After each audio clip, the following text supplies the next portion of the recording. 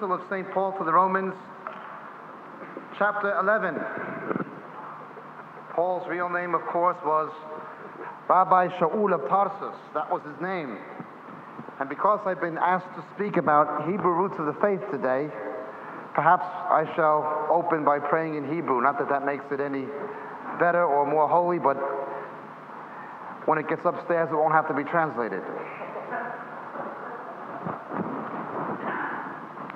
אבינו מלכנו, אנחנו מודים לך בשביל כל הברכות שאנחנו קיבלנו ממך. אנא אדוני עכשיו תפתח את עיניים שלנו לתפארת של דבריך. ובחסדיך תן לנו אבא לא רק לשמוע את דבריך, אבל גם כן בחסדיך לעשות. בשם שישוע המשיח, אדוננו גואלנו בצדקתנו. Lord God, again we ask you to open our eyes, our minds, and our hearts to your word, its glory, and its meaning. And in your strength, Lord, we ask you that you would empower us to be not only those who hear, but those who do. In the name of our Messiah, Jesus, who is our righteousness. Amen. Romans 11 comes in a section of Romans 9, 10, and 11.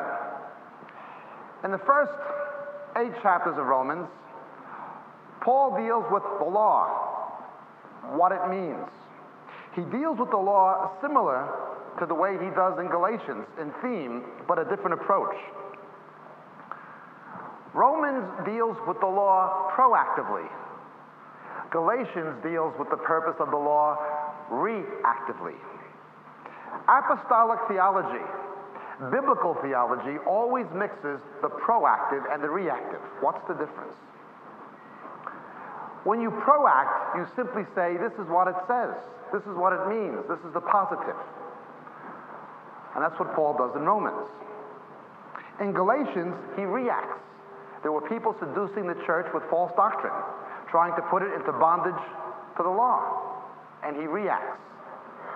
Today we have people who get stuck in one groove or the other and fail to maintain the balance.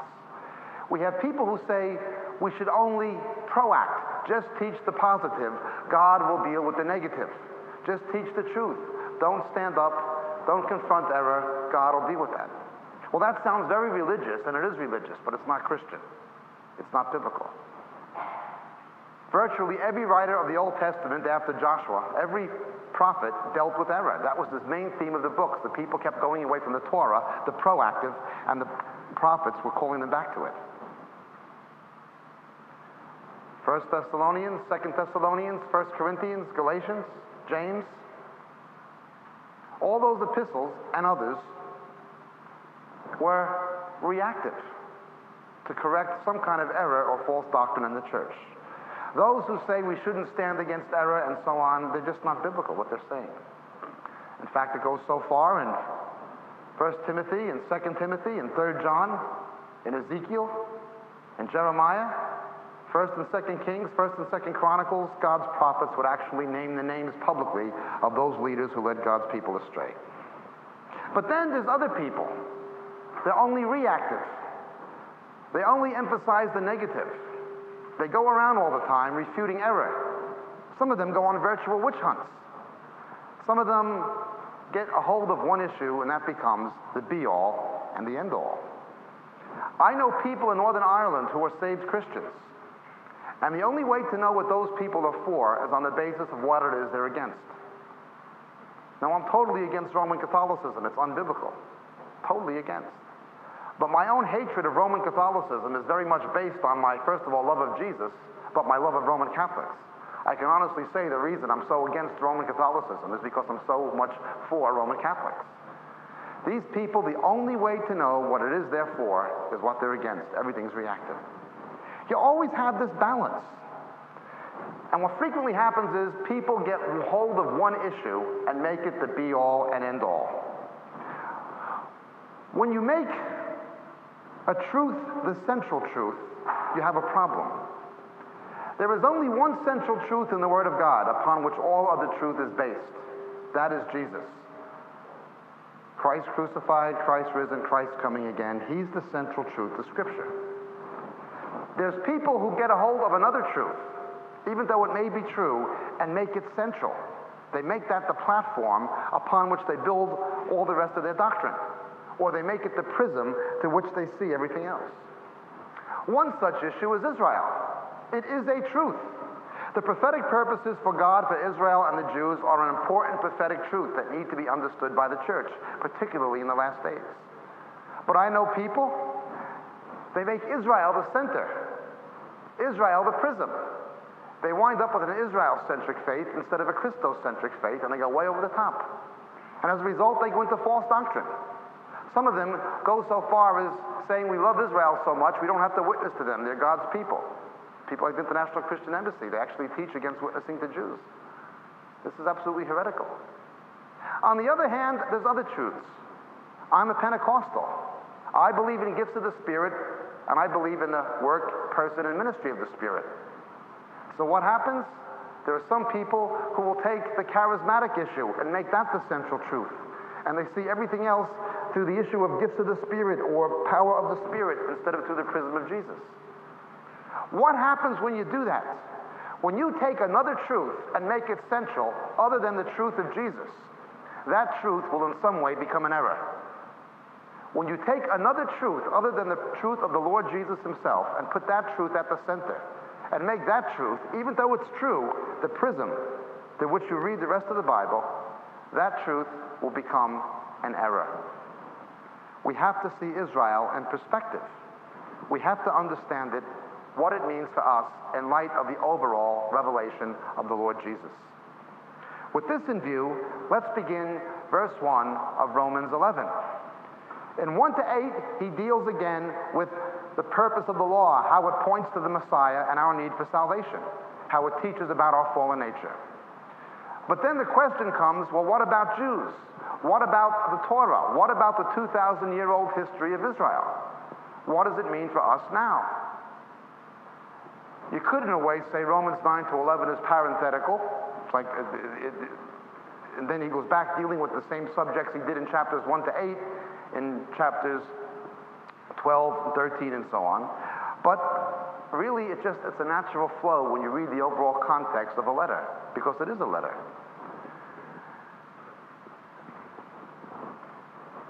I say then, God has not rejected his people, has he? May it never be. For I too am an Israelite, a descendant of Abraham of the tribe of Benjamin.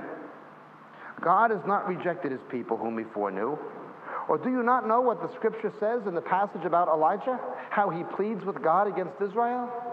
Lord, they have killed thy prophets, they have torn down thine altars, and I alone am left, and they are seeking my life. But what is the divine response to him? I have kept for myself 7,000 men who have not bowed the knee to Baal. In the same way, then, there has also come to be at the present time a remnant according to God's gracious choice. But if it is by grace, it is no longer on the basis of works. Otherwise, grace is no longer grace. What then? That which Israel is seeking for, it is not obtained, but those who were chosen obtained it. For the rest were hardened, just as it is written God gave them a spirit of stupor, eyes to see not, and ears to hear not, down to this very day. And this, of course, quotes from the Old Testament, from Deuteronomy 29 and Isaiah 29. And David says, Let their table become a snare and a trap, a stumbling block and a retribution to them. Let their eyes be darkened to see not, and their, bend their backs forever. Not including, of course, the faithful remnant. I say then, they did not stumble so as to fall, did they? May it never be. But by their transgression, salvation has come to the Gentiles to make them jealous. Now, if their transgression be riches for the world, and their failure be riches for the Gentiles, how much more will their fulfillment be? But I'm speaking to you who are Gentiles, inasmuch then as I am an apostle of the Gentiles, I magnify my ministry. If somehow I might move to jealousy my fellow countrymen and save some of them. For if their rejection be the reconciliation of the world, what will their acceptance be but life from the dead? And if the first piece of dough be holy, the lump is also. And if the root be holy, the branches are as well. But if some of the branches were broken off, and you, being a wild olive, were grafted in among them, and became partakers with them of the rich root of the olive tree, do not be arrogant towards the branches. But if you are arrogant, remember that it's not you who supports the root, but the root who supports you. You will say then, branches were broken off that I might be grafted in. Quite right. They were broken off for their unbelief, but you stand by your faith. Do not be conceited, but fear. For if God did not spare the natural branches, neither will he spare you. Behold then the kindness and severity of God. To those who fell, severity, but to you, God's kindness. If you continue in his kindness, otherwise you also will be cut off. And they also, if they do not continue in their unbelief, will be grafted in. For God is able to graft them in again. For if you were cut off from what is by nature a wild olive tree, and were grafted contrary to nature into a cultivated olive tree, how much more shall these who are the natural branches be grafted into their own olive tree? For I do not want you to be uninformed of this mystery, my brethren, lest you be wise in your own estimation, that a partial hardening has happened to Israel until the fullness of the Gentiles comes in. And thus all Israel will be saved. Just as it is written, the deliverer will come from Zion. He will remove ungodliness from Jacob, and this is my covenant with them when I take away their sins. From the standpoint of the gospel, they are enemies for your sake. But from the standpoint of God's choice, they are beloved for the sake of the fathers. For the gifts and calling of God are irrevocable. Now it's interesting, verse 29 ends with the gifts and calling of God being irrevocable. Why does the text of Romans link the gifts of the Spirit or the gifts of God with God's calling for Israel? In, in Corinthians, you have the same connection between gifts and calling. And as this letter progresses, you have no chapter division in the original Greek.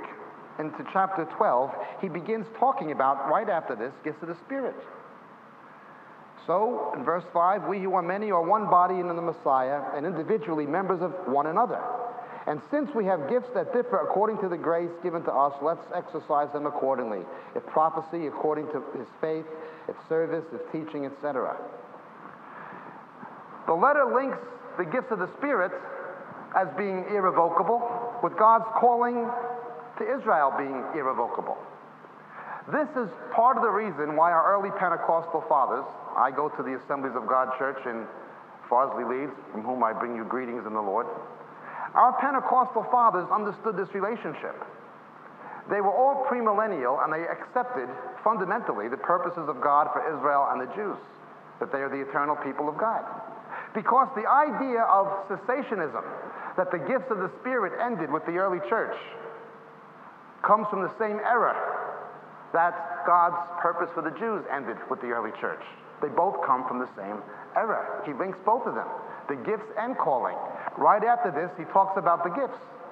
Before this, it's the calling.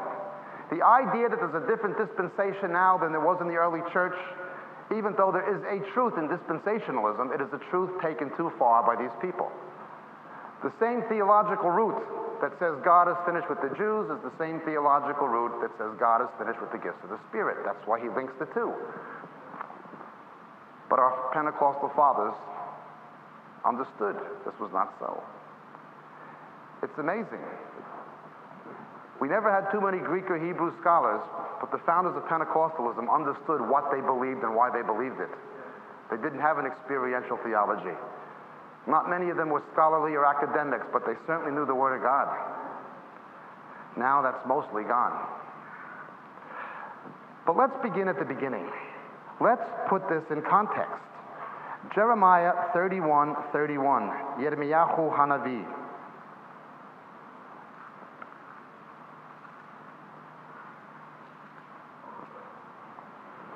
Behold, the days are coming, declares the Lord, when I will make a new covenant with the house of Israel and the house of Judah, not like the covenant I made with their fathers.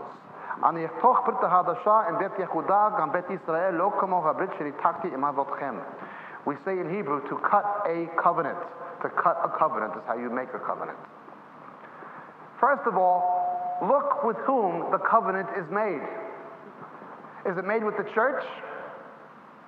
Does it say the new covenant will be made with the church? No, the new covenant was not to be made with the church. Jesus never gave a new covenant to the church. He didn't make the new covenant with the church. He made the new covenant with Israel and the Jews. The Bible never teaches he made a new covenant with the church. So therefore, if he's finished with Israel and the Jews, he's finished with the new covenant. Because he didn't give the new covenant to the church, he gave it to Israel and the Jews. But let's understand further. To cut a covenant, what does that mean? In an ancient Near Eastern suzerainty ritual, you'd have a fellowship meal and things like this when you made a covenant or a contact, a contract, a haskema or a brit, brit. And you would sacrificially sacrifice, uh, bisect a, an animal. You would, you'd bisect its carcass of an animal in a sacrifice. And both parties making the contract, the suzerain, the ruler, and the person he makes the covenant with, would pass between the two halves of the bisected carcass. Now, in the ancient Near East, the validity of a covenant was never dependent on the second party. It was only dependent on the suzerain, the person who made it. There would be consequences if the other party broke it, but it did not invalidate the covenant because that would be a insult to the suzerain. It would mean that the ruler was losing face. He had to be faithful even when those who made the covenant with him weren't, even though there'd be consequences. This is what we see in the typology when God makes the covenant with Abraham. Look at Genesis 15. We call Genesis in Hebrew Breshit, Breshit, in the beginning.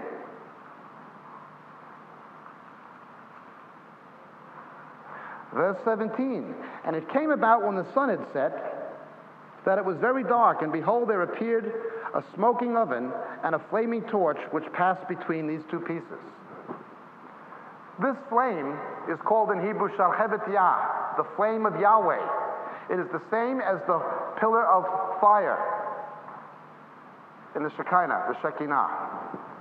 Notice it's only the flame of God, only the Shekinah that goes in between the two halves of the animal not Abraham. God knew from the beginning that he would be faithful and keep the covenant even though Abraham wouldn't. That is both Abraham's physical descendants, the Hebrews, and his spiritual descendants, the church. The validity of a covenant does not depend on the unfaithfulness of man, but rather on the faithfulness of God. If God is finished with Israel and the Jews, I'd like to know one reason he shouldn't be finished with the Gentile church. Now, they did terrible things. Ultimately, they rejected their Messiah. There was two times when God became totally fed up with Israel. And for a season, he said, Lo ami, you're not my people, as the prophet Hosea puts it. The second, of course, was the rejection of the Messiah, Jesus, Yeshua. But the first was the Babylonian captivity and the fall of the northern kingdom to the Assyrians. There was a lot of sin, and immorality, a lot of social injustice, and open idolatry. But the most serious of all was when they were sacrificing their babies to other gods.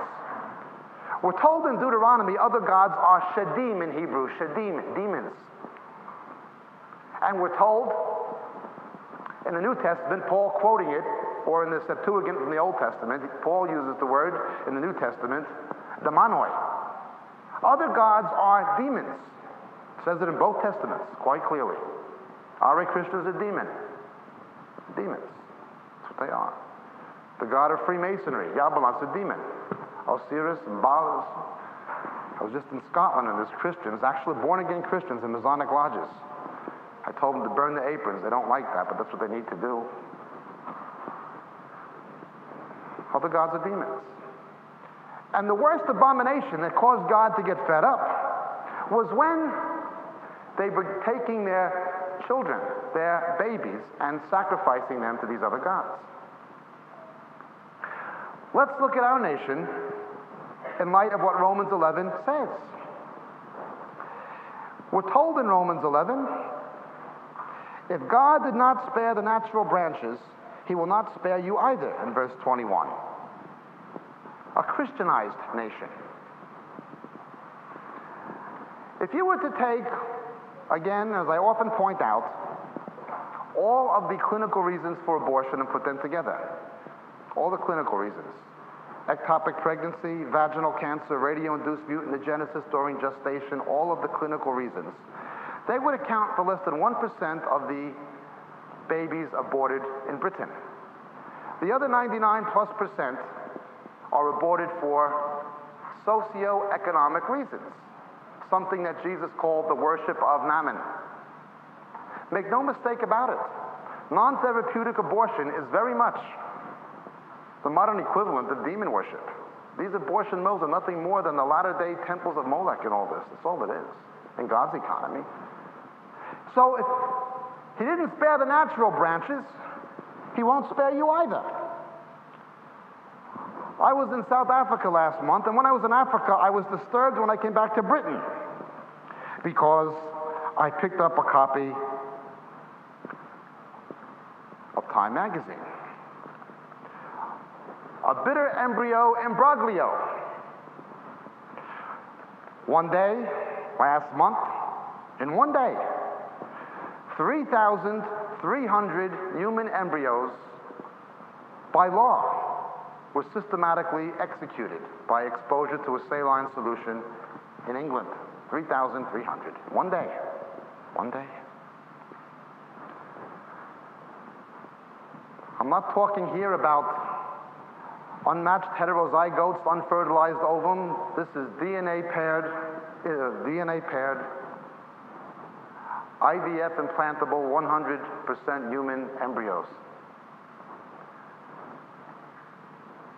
3,300 were destroyed. I came back and I checked. The very day this happened, the very day this happened, our biggest Assemblies of God church in Sunderland, our biggest Elim church in London, the biggest Anglican church in London, biggest evangelical Anglican church in London, Holy Trinity Brompton. The very day, the very hour, when these 3,300 embryos were being executed, our biggest Pentecostal and charismatic churches, at the behest of their leaders, were rolling on the floor in hysterics laughing. That's the kind of church we have. That's the kind of leaders we have. That's the kind of nation we have. If God did not spare the natural branches, he will not spare you either. I know what we have to fall down and weep about. It says in Nehemiah chapter 1, verse 4, revivals always begin with people weeping, not people laughing. I know we have to fall down and weep about, to beg God to withhold his judgment from this nation who's backslidden from its Christian principles. And we have to fall down and weep about, but I don't know what it is we have to laugh about. And because I say this publicly, I'm told I have a wrong spirit. I'm blaspheming the Holy Spirit. I'm grieving the Holy Spirit. I'm the bad person. Keep away from Jacob Prasch and his friends because he says this. If he didn't spare the natural branches, if Israel and the Jews did not get away with this, England, America, Australia are not going to get away with it either. At least they had Jeremiahs who were standing up and warning. Today, our leaders are standing up and say, laugh about it. Just have a laugh. God's doing something. God is doing something, they say. And if you read what happened, if you read what happened in the book of Jeremiah, immorality went on a rampage. I was in Scotland the other day and I picked up a copy of the Daily Mail. Europe sparks flood of porn filth. I myself am very careful to keep my political views separate from my Christian views. However, it is a fact. By the year 2010, 80% of Great Britain's laws will be made not by Parliament, but by bureaucrats, unelected bureaucrats in Brussels on back of closed doors who you didn't vote for and can't remove. It's not the loss of British sovereignty, it's the loss of British democracy. But and I have no doubt whatsoever what you see in the continent is the prophecy of Daniel's vision, the fourth beast. I have no doubt. But the European court decreed you had to allow this pornography to be broadcast into this nation from the continent, mainly Holland. Germany, and Denmark. And this pornography, it's not even normal sex. A lot of it is homosexuality, bestiality, things that are not even normal. And you have no legal recourse. Your government can do nothing. Europe has decreed you have to let it in. I turn the page. Gay Britons join the rush for a surrogate child. The legal precedent has been set now. Two homosexuals, males living together, have as much right to adopt a child as Jack and Jill, as you do, and bring them up to be homosexual in a homosexual environment. Uh, lesbians have a right to artificially inseminate. Much right as you do to have kids and bring them up believing that's normal. And we're being told by our leaders God is doing a great thing. And they're rolling on the floor in hysterics and laughing. God is doing a great thing? Well, when God did a great thing in John Wesley's day, the powers of darkness were thrown back over this nation. When God did a great thing in the book of Acts, when the real fire fell, 3,000 were saved the first day and 5,000 the second.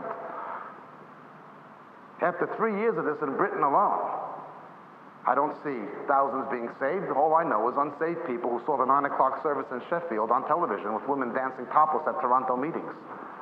That's the only thing I've seen. And I'm told I have a wrong spirit because I don't agree that God is doing a great thing. Well, I, I do think God is doing a great thing. God is doing a great thing. The question is, which God? You understand?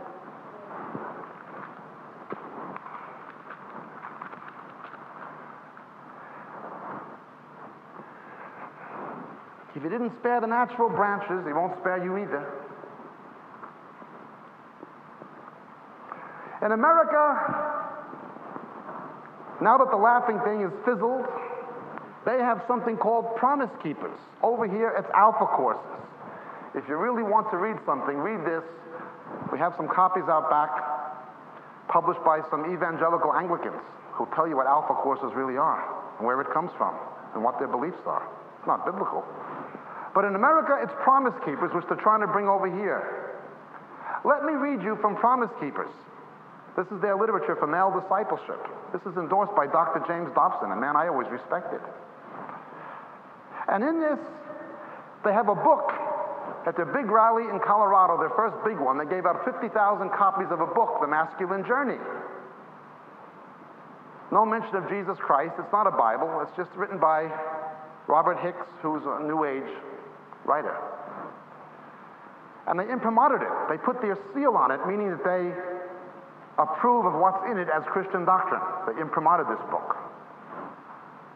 Our culture has presented many initiation rites or passages to manhood that are associated with the phallus, the male sex organ.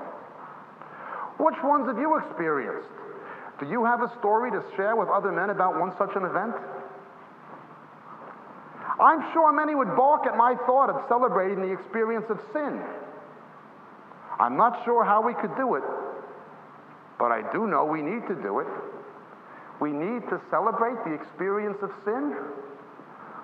What kind of sin do you think they telling us we need to find a way to experience? How about teenagers losing their virginity and taking dope?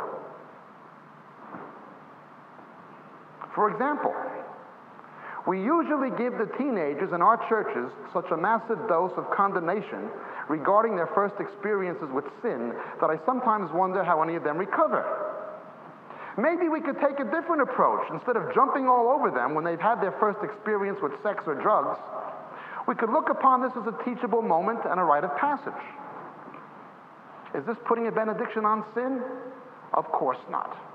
But perhaps at this point, the true elders could come forward and confess their own adolescent sins and congratulate the next generation for being human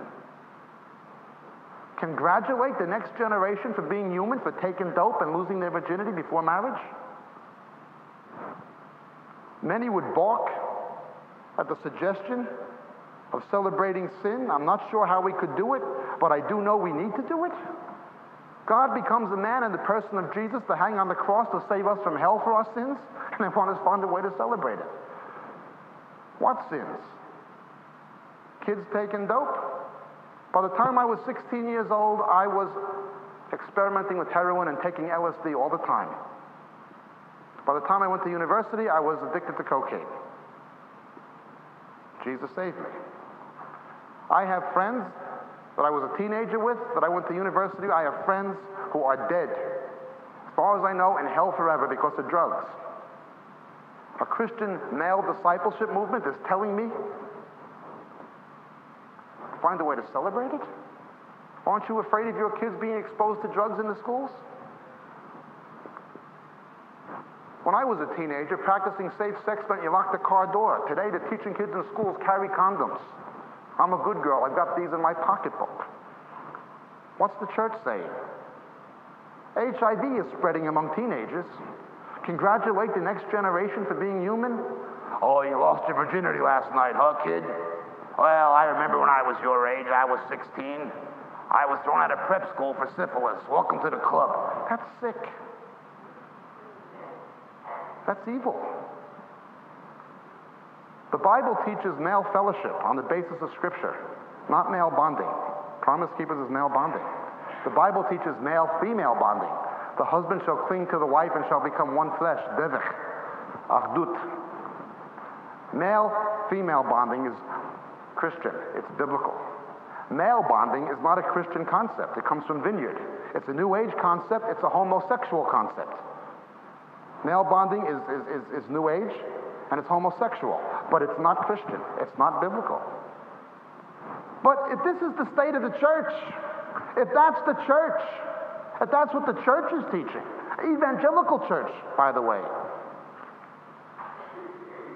although there are a lot of Mormons and Roman Catholics in it, if that's what the body of Christ is teaching, what do you expect from unsaved people? What do you expect from the world? But then they say, I'm the one with the problem. I'm the one with the problem. 3,300 kids are executed in one day, and I say it's a disgrace that the church was not fasting and praying against it and screaming at the top of their lungs instead of rolling on the floor laughing, but I'm the guy with the problem. Look out for me. I'm the one who's going to get you in trouble.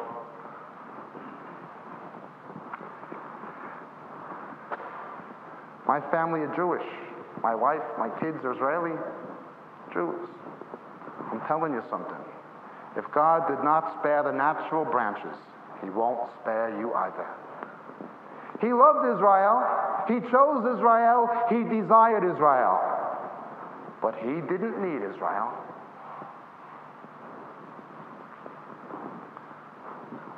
But let's continue.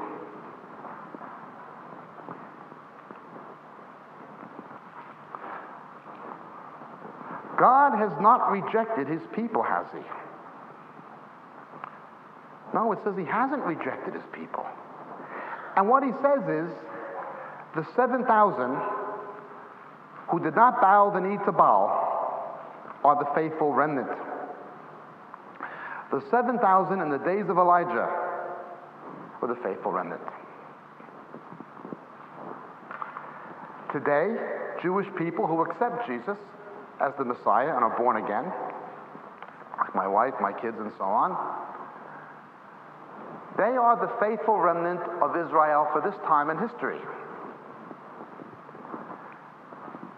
Now we have to understand what is a Jew? Look at Romans chapter 2, verse, verses 28 and 29. He is not a Jew who is one outwardly, neither is circumcision that which is outward in the flesh. But he is a Jew who is one inwardly, and circumcision is that which is of the heart, by the Spirit and not by the letter. Jewish people in the days of John the Baptist, Yochanan HaMatbil, some of them thought because they were circumcised or physically descended from Abraham, they were cut above the rest. Hmm. They may have been a cut, but not above the rest. What did John the Baptist tell them? God could raise up Abraham's children out of the stones. The prophet Isaiah put it this way in chapter 63, Verse 16 For thou art our father, though Abraham does not know us and Israel does not recognize us. That's about Gentile Christians. Abraham is your father, even though the Jews don't recognize you as such, unless they're saved Jews. He's your father as well. You see, it was not enough to be physically Jewish, or physically circumcised, or culturally Jewish, or religiously Jewish. Circumcision was always a matter of the heart. Let's look at this in the Old Testament. Jeremiah 9.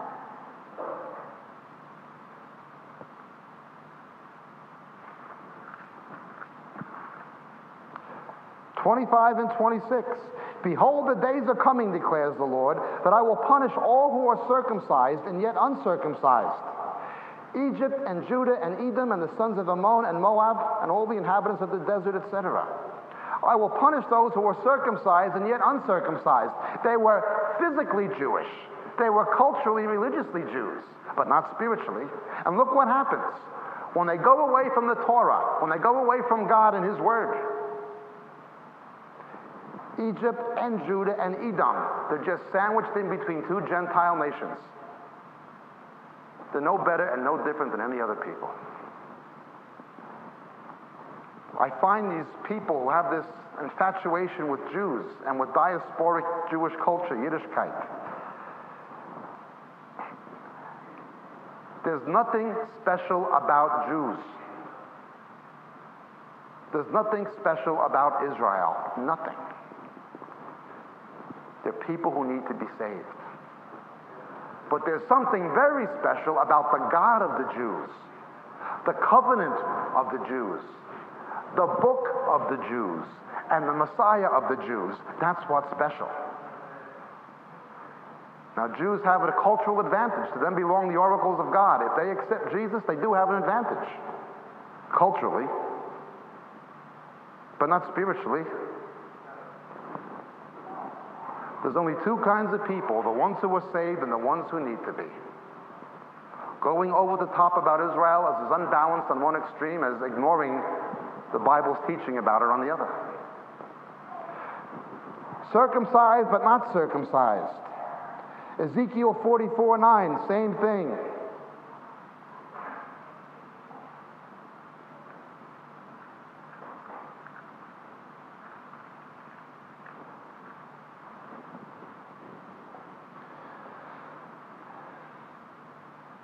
Thus says the Lord God, no foreigner uncircumcised in, uncircumcised in heart and uncircumcised in flesh. It wasn't good enough to have physical circumcision. Jeremiah 4 4. Yirmiyahu Hanavi, I love him. Circumcise yourselves to the Lord and remove the foreskins of your heart. Moses says the same thing in the Torah, Deuteronomy 10 16. It's always of the heart.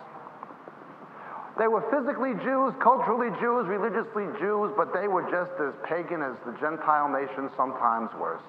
Let's look at the church.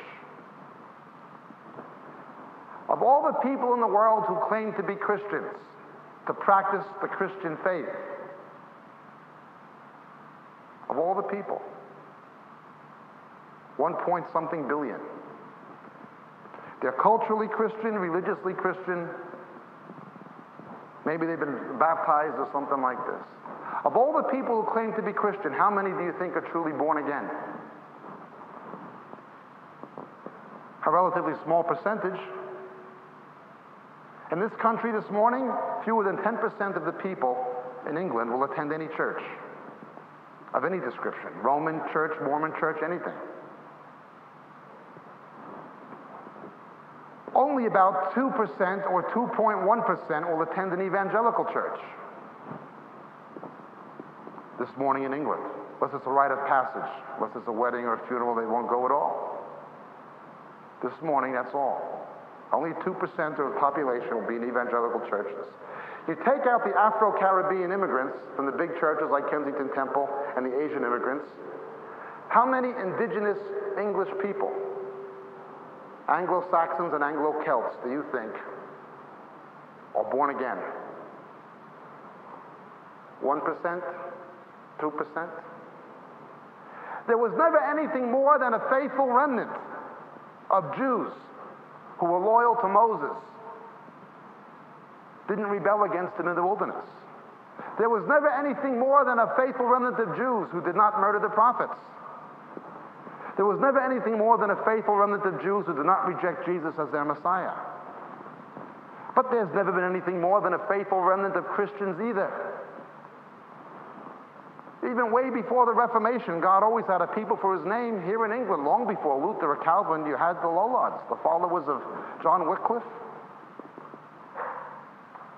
On the continent, you had all kinds of people the Bohemian Brethren, the Waldensians, even before the Reformation. There was never a time when God did not have a people for his name. He always had a faithful remnant of Jews. Benjamin Disraeli, the prime minister, was a Jew who believed Jesus was the Messiah. Felix Mendelssohn, the composer, wrote the music, The Hark the Herald Angels Sing. Charles Wesley wrote the words.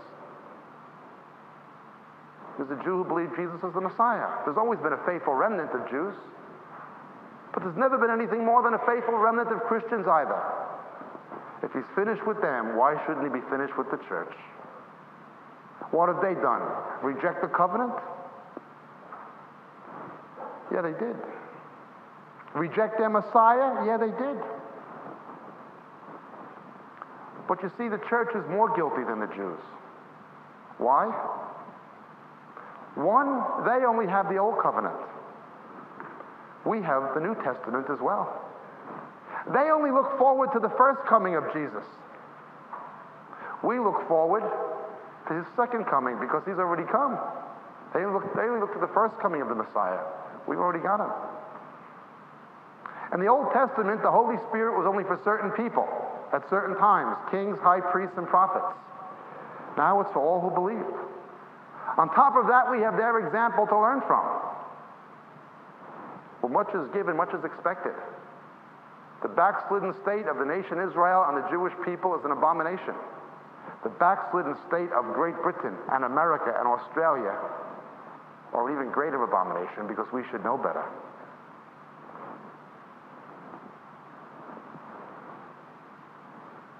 But let's understand this.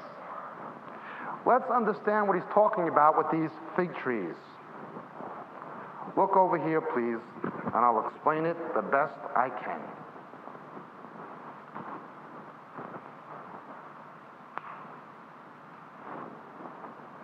This is an olive tree.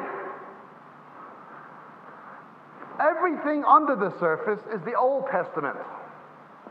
Everything above the surface is the New Testament. This is all the Old Testament, this is all the New. It's one tree, not two trees, it's one tree. In the Old Testament, the root, the Greek word is reza. Reza. You know when you see a tree, an olive tree, blossoming, you know it has a root that's alive. If the root of that tree was dead, the tree, tree would be dead, wouldn't it?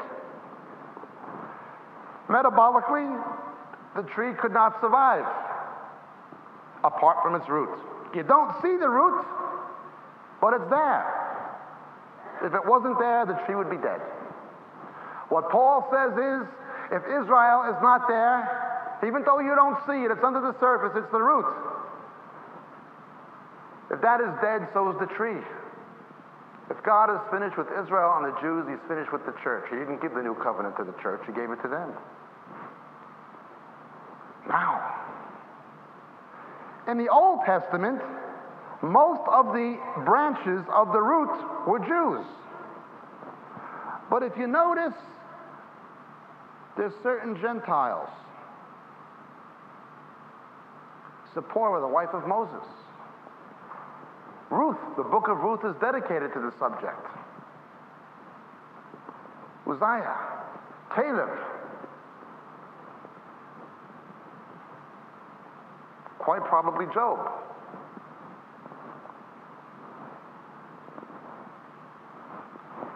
Most of the roots are Jews. But even in the Old Testament, you had Gentiles who had been grafted in in some way. Now it's the New Testament.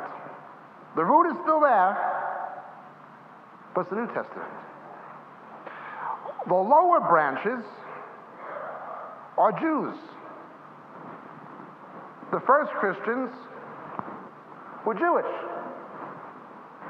Every writer of the New Testament was a Jew except for Luke, and he was a Gentile who converted to Judaism. The only reason we have the New Testament, the New Covenant, is because Jews wrote it. Matthew, Mark, Luke, John, Paul, Barnabas, Mary, they're all Jewish.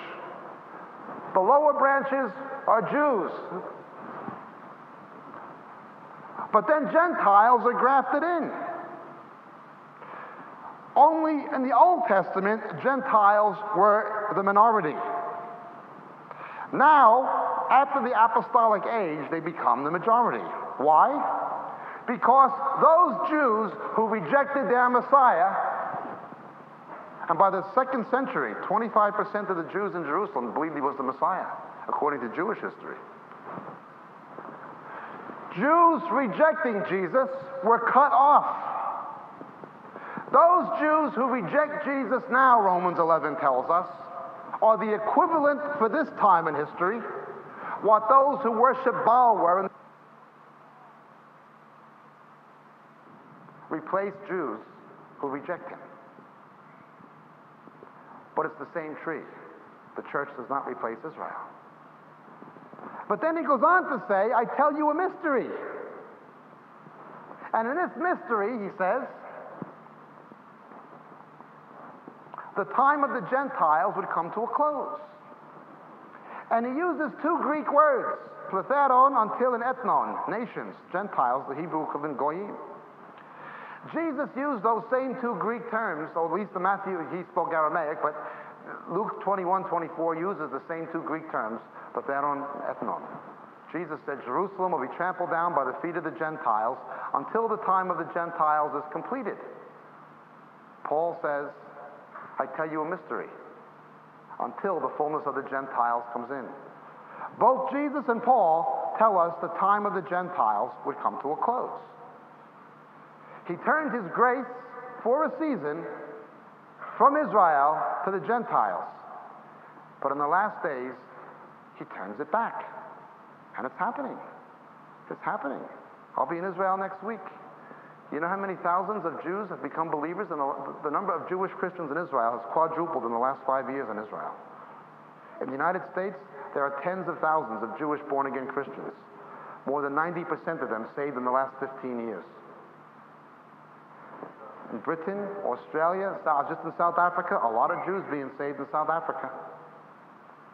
I had one of the leading neuroradiologists, a specialist in uh, nuclear medicine for brain diseases, her and her husband, very prominent Jews, and they were saved through our ministry recently, and they have a high social profile because of their position.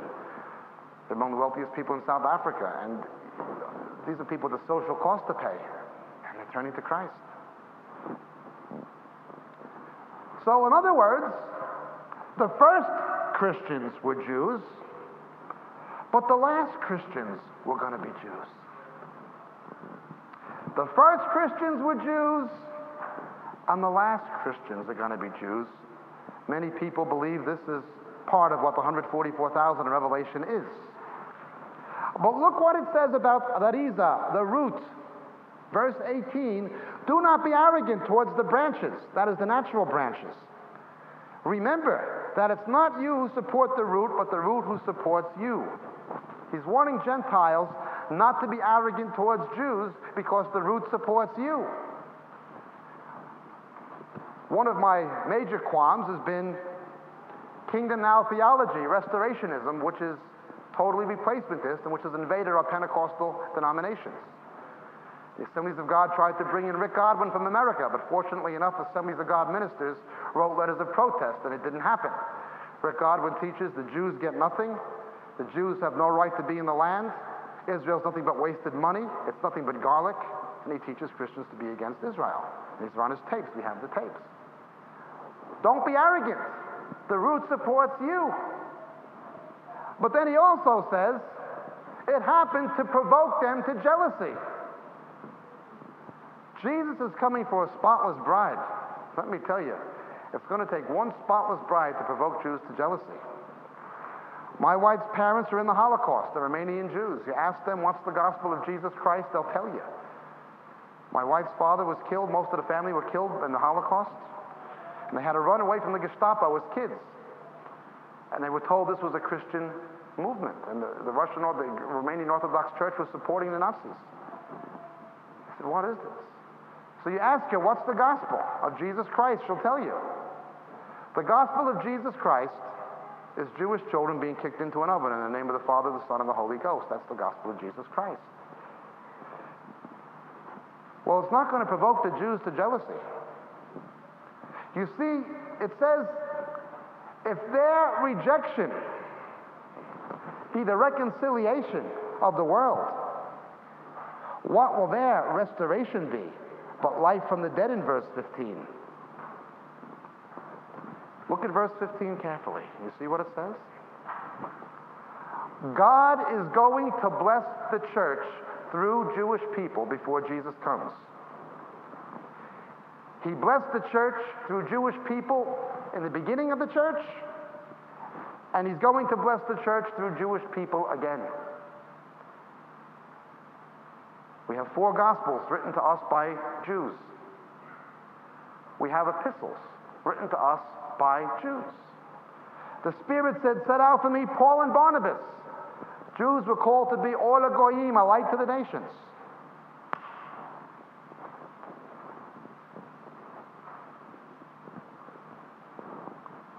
It's only Jewish Christians who can be lights to the nations, Messianic Jews.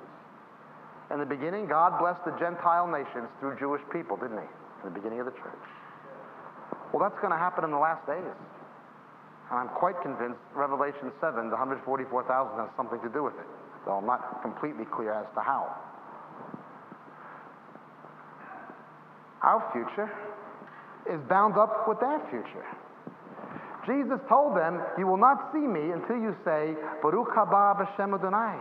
Blessed is he who comes in the name of the Lord. In Zechariah chapter 12, it says the following, verse 10 I will pour out on the house of David and on the inhabitants of Jerusalem the spirit of grace and supplication, so they'll look upon me who they have pierced, and mourn for him as one mourns for an only son, and weep bitterly over him like the bitter weeping over a firstborn. The Jews will look upon the one they rejected, who was crucified, who was pierced, and realize he was the Messiah. And then as he comes in chapter 14, he sets up his millennial kingdom, doesn't he? And it, as a Pentecostal, it greatly, greatly grieves me to see our Pentecostal churches moving away from our own heritage. Our Pentecostal fathers knew these truths. They understood that the purposes and plan of God for the salvation of the world was prophetically bound up with his plan for the salvation of Israel.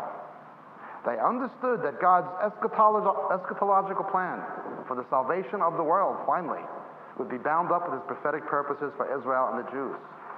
And they understood that replacement theology and cessation theology were two legs of the same table. A lot has happened. But let's look just a bit further.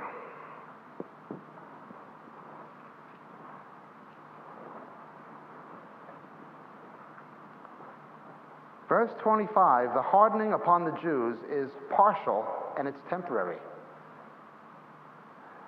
And he goes on to say the following How can God bring the Jews in? The person who explained this the best of anyone I ever heard was Dr. Martyn Lloyd-Jones. And I'll tell you, when Dr. he wasn't a Pentecostal, but he did, was baptized in the Spirit.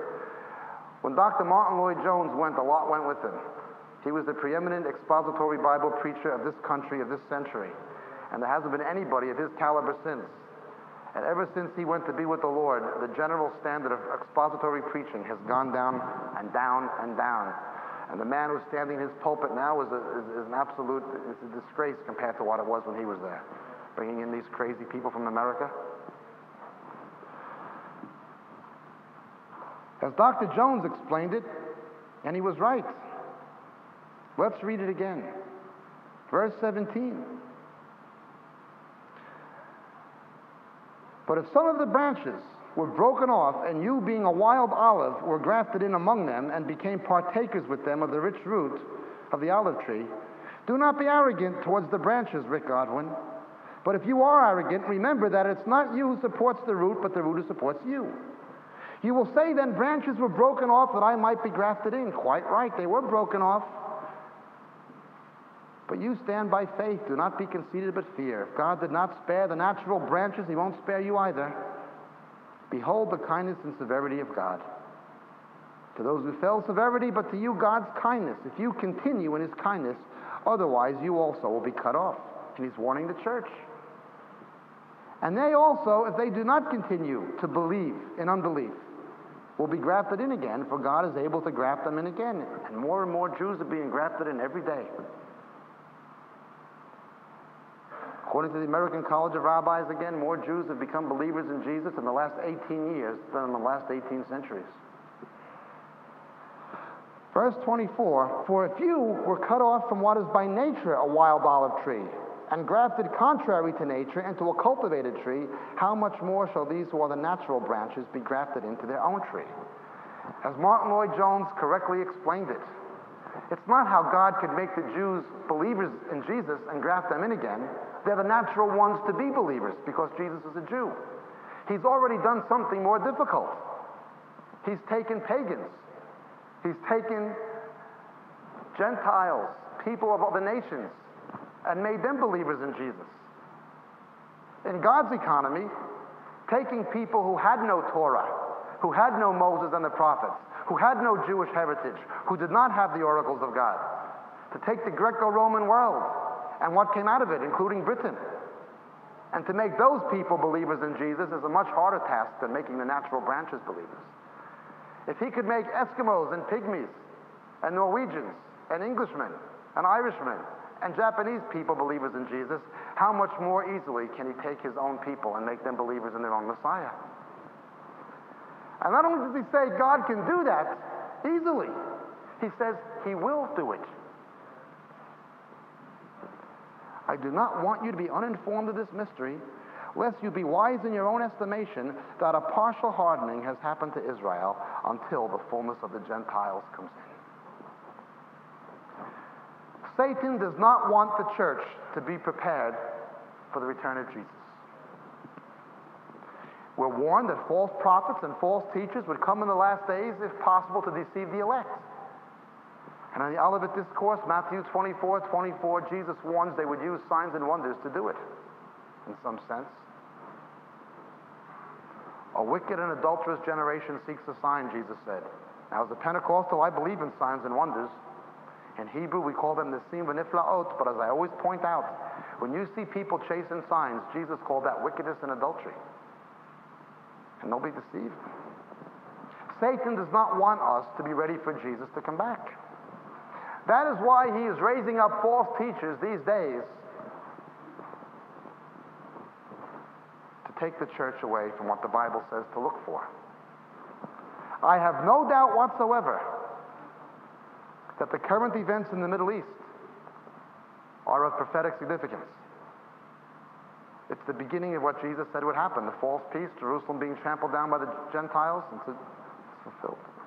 I have no doubt that the events you see in the reconfederation of the Roman Empire, the countries that were in the Roman Empire, into a non democratic model, I have no doubt that that is a prelude to the prophecies of the prophet Daniel and Revelation. No doubt. I'm not saying that's it, but it's a prelude. Same as the false peace in the Middle East. I don't say it is the false peace of Daniel and the Antichrist, but it's a prelude to it. I have no doubt whatsoever that when you see things like ecumenism in Toronto, it is a prelude to the apostasia in Thessalonians. Therefore, the Lord Himself will send a delusion upon them that they may believe what is false. So, after three years in Britain and seven years with Rodney Brown, there's no revival from this. It's not simply a deception of Satan, it's a judgment from God. It's a prelude to that falling away. But I also have no doubt whatsoever that the increasingly large numbers of Jews turning to Jesus is what this says would happen. Richard and Sabina Wurmbrand, the founders of Christ of the Communist Nations, the persecuted church, voice of the martyrs, They're Romanian Jews, like my wife. Some of my wife's family knew the Wurmbrands before they were saved. And they're wonderful people. The founder of Christians in Sport, Eddie Wax, he's a Jew. I work with Helen Shapiro all the time. She's Jewish. People come up for autographs and photographs. She tells them about Jesus. Even in her concerts, she gives her testimony. She's Jewish. The only person to have a number one hit single on the secular pop charts, Going Up to the Spirit in the Sky, Norman Greenbaum, was Jewish. We have increased, increasingly now more and more Jewish Christian theologians, like E. Ellis and Arnold Fruchtenbaum, showing the church how to read it as a Jewish book instead of as a Hellenistic book. You see, we've turned the Hebraic faith into a Western faith. We Hellenized it.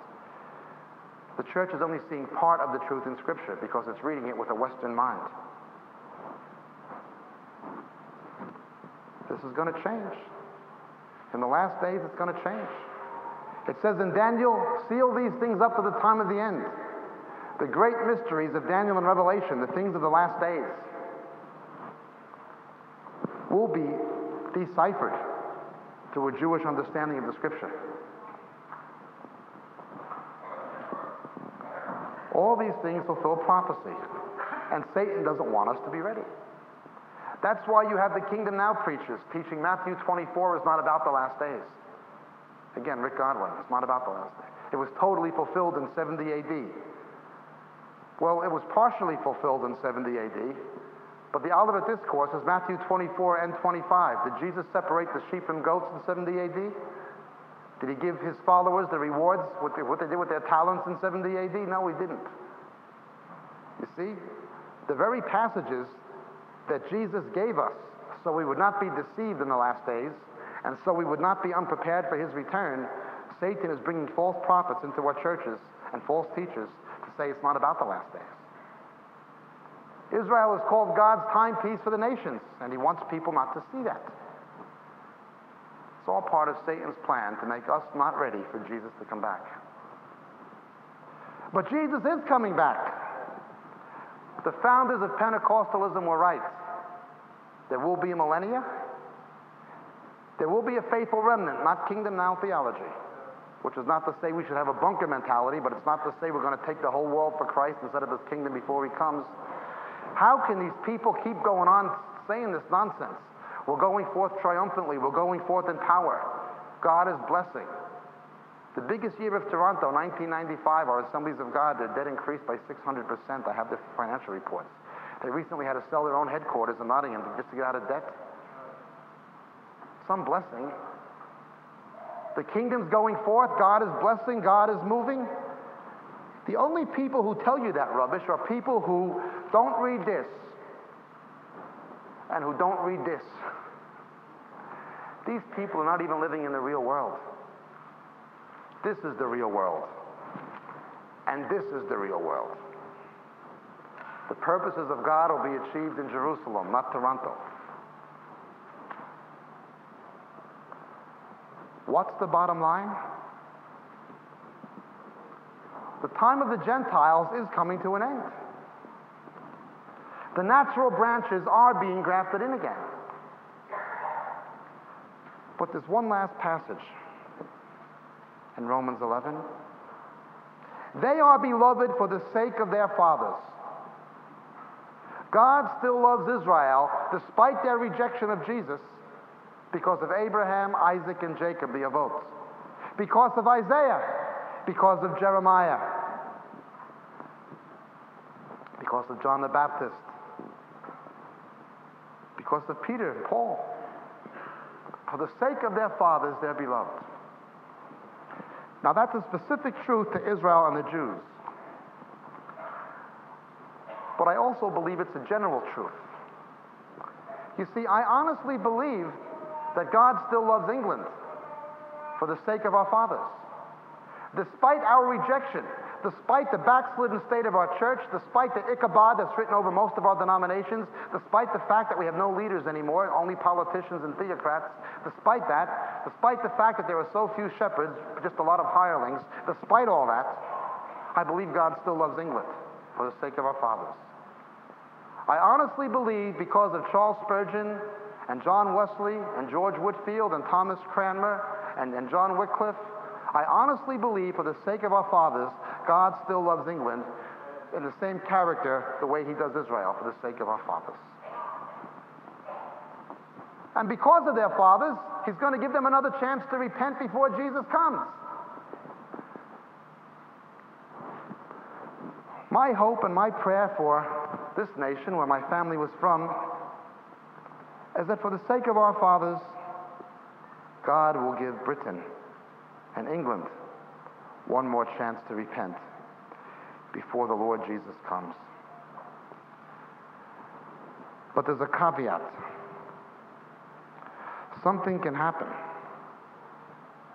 You see, God told Ezekiel in chapter 14, verse 20, even though Noah and Daniel and Job were in its midst and I live, they could not deliver either their son or their daughter. They would only deliver themselves. Israel reached a point like that. It reached a point where even their righteousness of their fathers could no longer have an impact on preventing God's judgment on their nation. That actually happened. I often wonder if Charles Spurgeon and John Wesley and John Wycliffe were standing before God and they came down here, if they could prevent God's judgment from coming on England anymore. You see, those men never would have rolled on the floor and laughed when babies were being systematically executed by law. Those men never would have told the church of this nation God is doing a great thing. Those men would have told the truth. They would have stood up and told you people that the judgment of God is coming. And it's persecution to expect, not revival. That's what they would have told you. But there's not enough Englishmen who will do that anymore. So God has to get a Israeli American, a Yank, to come over here and say these things. Strange situation.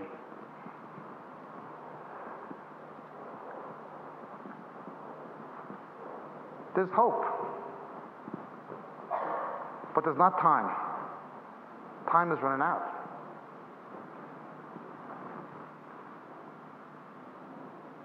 There's hope. There's still hope, but there's no time. If God did not spare the natural branches, neither will he spare you. God bless.